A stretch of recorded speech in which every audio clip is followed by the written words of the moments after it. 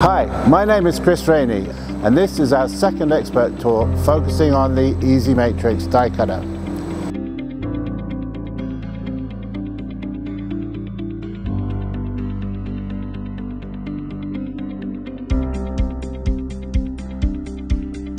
Ultimately, one of the reasons that a customer upgrades from a cylinder type die cutter to an Easymatrix is to get full waste stripping capability.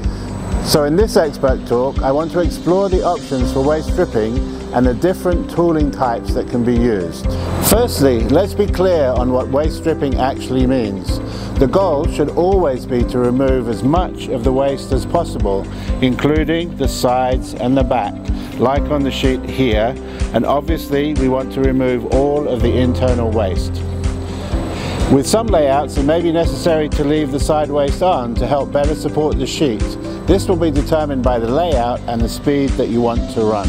I'm going to start here because whatever tools you're going to use you will always need a central stripping board that is cut like this with openings matching all the pieces of waste that you want to remove. The central stripping board here is cut by laser and this is clearly the most accurate way to do it. Of course, a central board can also be cut using a router or even a handsaw, which would also be fine. Looking at the tool in more detail, you'll see a couple of key things that should be noted. Here you will see the centerline notch, which ensures correct alignment of the tool in the machine so that it will be perfectly aligned with the cutting die. On the underside, you will see the quick lock bars. These are the bars that secure the central stripping board in the machine. These are typically made by the die maker in wood like these to reduce costs.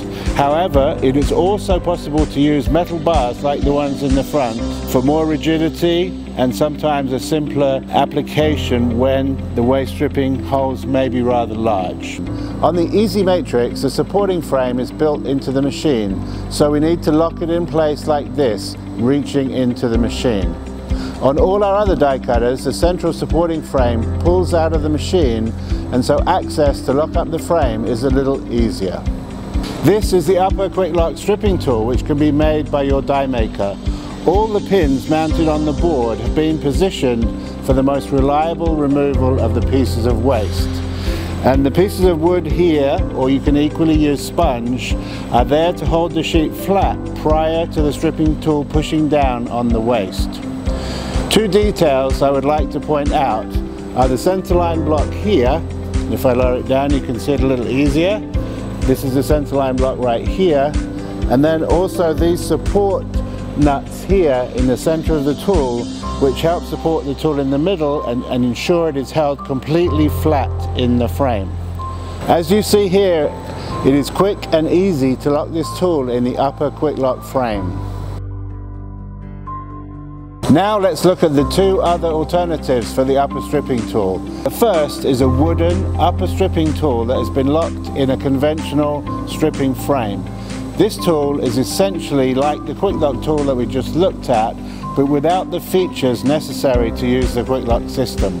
The only reason that you would really buy a tool like this would be if you did not have an upper quick lock frame with your machine, but you still wanted the top tool to be built by your die maker. This pre-make ready table is essentially a replica of the stripping station in the machine. It allows us to build an upper and a lower stripping tool using stripping pins, thus giving us total flexibility. Of course, this takes time and organization, but to use the stripping capabilities of your machine without buying dedicated tooling, this table can be an essential part of your organization. Here you see the upper universal stripping frame. In this frame we can mount supporting bars and from these bars as many stripping pins or pieces of sponge as we need to match the layout. For the top frame we adjust the position of the pin against the printed sheet that shows the job layout. In this way all the pins can be accurately positioned into the places that they are required. Once the setting of the pins and the sponges is finished, we raise up the frame in order to take out the central board with the layout sheet mounted on it. This allows us then to move to set the lower pins. Using either the top stripping tool that we locked in the frame or a top tool that we built using stripping pins like this one, we can now turn our attention to setting up the lower pins. We leave the top tool in the frame, remove the central board as you saw, and then we can rotate the table. With the table in this position, we have easy access to what is actually the lower stripping frame. We can then position lower pins opposite each of the upper pins accurately and with perfect alignment. You will note that the lower pins are sprung and this not only ensures that the waste board is held firmly between the upper and the lower pin, but it actually allows the upper tool to come slightly below the board line in the machine. The reason that we do this is to positively draw the waste pieces below the line of travel of the sheet to ensure reliable waste removal in the machine and to eliminate the possibility of waste getting carried through the machine. Once the lower frame is set up with all the pins needed for your job, it is ready to be mounted into the machine. In a normal and efficient production environment, the make-ready operator will be working at least one job ahead of the production schedule so that the tooling is ready for the operator to immediately begin the changeover when his previous job is finished. Finally, I would like to mention the use of dynamic stripping tooling.